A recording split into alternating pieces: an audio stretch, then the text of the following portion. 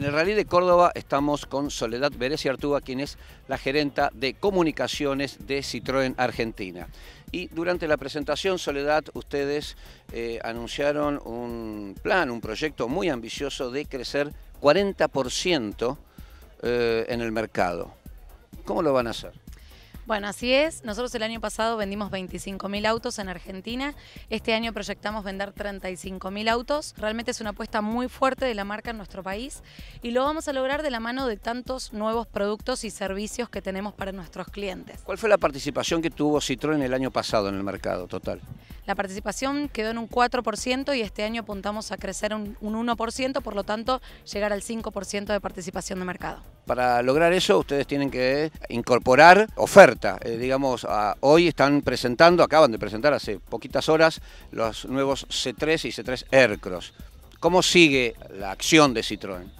Bueno, exactamente, nosotros tenemos un plan muy fuerte, un portfolio muy importante para presentar de la marca en cuanto a modelos en todo el año. Estamos hablando de 10 lanzamientos que vamos a tener en total en todo 2017. Ya estuvimos conociendo una versión especial del C3 Aircross hace dos meses atrás, que era el Urban.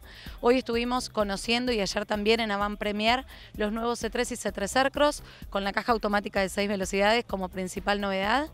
Vamos a estar conociendo la semana que viene todo lo que le estamos incorporando el nuevo CLC, que realmente va a ser muy importante y lo van a conocer dentro de muy poquito tiempo.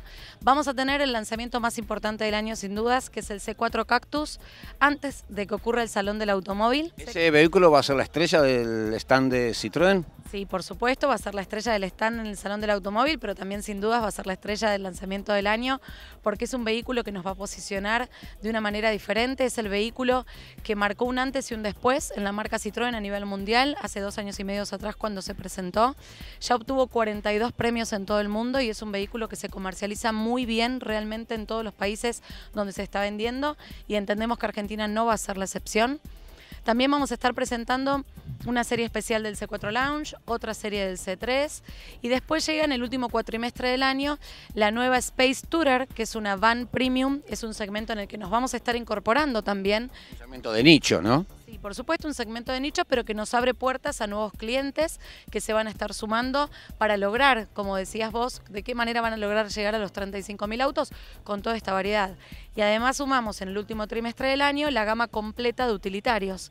Vamos a tener una nueva jumper y vamos a estar presentando la Jumpy, que como hace un mes atrás, muy bien sabes, se presentó como que se va a estar em-, empezando a ensamblar en Uruguay y la vamos a tener a fin de año en Argentina.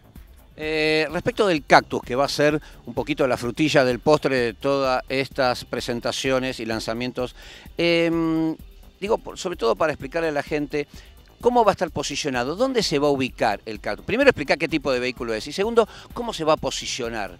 Porque no sé si es un vehículo sencillo de vender, entre comillas, o de transmitirle a la gente. No, seguro que sí, es un vehículo muy rupturista, muy creativo, con un diseño increíble tiene airbags laterales, así le llamamos nosotros, en cada uno de sus costados y le da un diseño distintivo. En cuanto a tamaño, es un tamaño similar al C4 Lounge, para que la gente pueda entender más o menos de qué hablamos. Es un vehículo cinco puertas, pero es un vehículo distinto, con mucha tecnología, pero con mucha simpleza también. Es fácil de manejar. Realmente arroja un diseño distintivo, pero también es un auto que te da placer de conducción. Eh, es un vehículo que se va a estar trayendo en muchos colores rupturistas, colores fuertes, llamativos, colores feel good, como le llamamos en Citroën. Y esta posibilidad de los Airbams, poder cambiarlos de colores, también te da un toque distintivo. Es un vehículo que va a llamar la atención y seguramente va a gustar y mucho. ¿Qué eh, versiones van a traer del Cactus? Todavía no podemos contar el equipamiento, lo vamos a hacer dentro de un mes, pero por ahora vamos a estar trayendo una sola versión y seguramente el año que viene vamos a incorporar algunas más. Una de las principales quejas de los usuarios de autos es el servicio postventa. Eh, ustedes durante el anuncio del C3 y C3 Aircross eh, se refirieron a un estudio que hizo mundial, que hizo Citroën, y em, para tratar de satisfacer las necesidades postventa de los clientes. A ver, explícanos de qué se trata eso. En realidad, eh, esto que presentamos, que es una campaña de brand campaign que se llama Citroën Inspired by You, es una campaña que hizo Citroën a nivel mundial inspirada en los clientes. Citroën le presta mucha atención a los clientes desde hace un tiempo ya bastante largo y las campañas son cada vez más fuertes. Citroën lo que propone ahora para vehículos de hasta 5 años de antigüedad es que el cliente Citroën llama directamente al teléfono que está en citroen.com.ar claramente escrito y de esa manera el remolque te va a buscar a donde estás, te lleva directamente al concesionario más cercano y el concesionario tiene la obligación de hacerte un presupuesto de esa reparación de manera gratuita, que muchas veces eso ocurría antes que se cobraba también. Entonces de esa manera le simplificás la vida al cliente y haces que el cliente quiera cada vez más a la marca.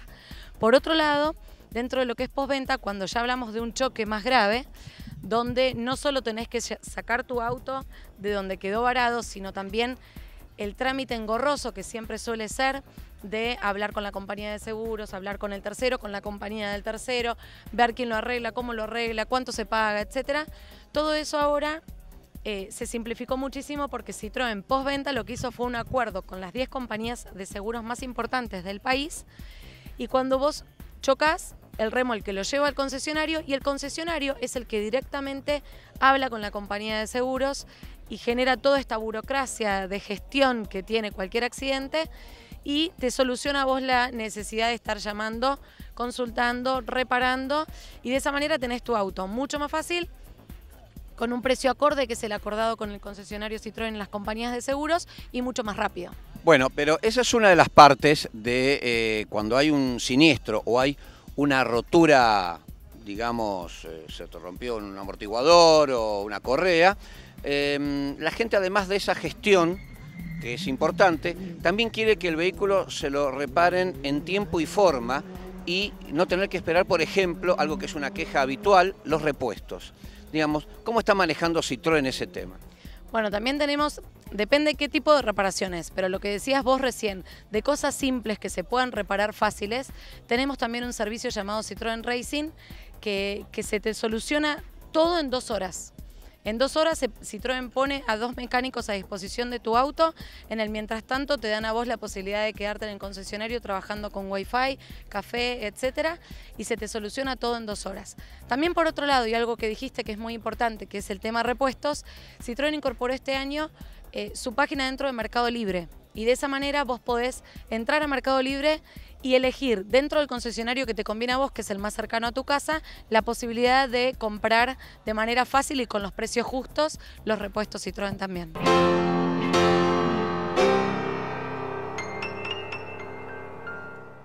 Bueno, esto fue todo por hoy, espero que te haya resultado interesante, pero antes de irnos te voy a contar las principales características de esta nueva Chevrolet Tracker.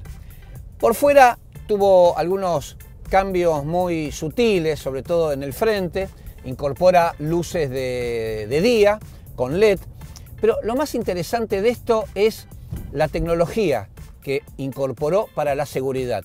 Tiene detector de abandono de carril involuntario, tiene sensor de vehículo en el ángulo muerto del espejo, tiene un sensor eh, visual y sonoro de colisión que te avisa si estás muy cerca de un vehículo, vos lo, podés programar desde una tecla aquí en el volante, no acciona los frenos, solamente te avisa, vos tenés que reaccionar. ¿Qué es lo que lo penaliza a este vehículo? Y eh, el motor es de generación vieja, es el 1.8 de 140 caballos, cuando, el, por ejemplo, el nuevo cruce que se produce en Rosario tiene el 1.4 turbo de 153 caballos. Tal vez en una próxima generación lo podría incorporar.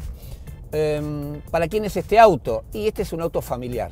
Si bien tiene un baúl, eh, uno de los más chicos de la categoría, eh, sirve para irte de vacaciones el fin de semana, para que la mujer vaya a buscar los chicos al colegio. Vos no vas a estar corriendo una picada con este auto.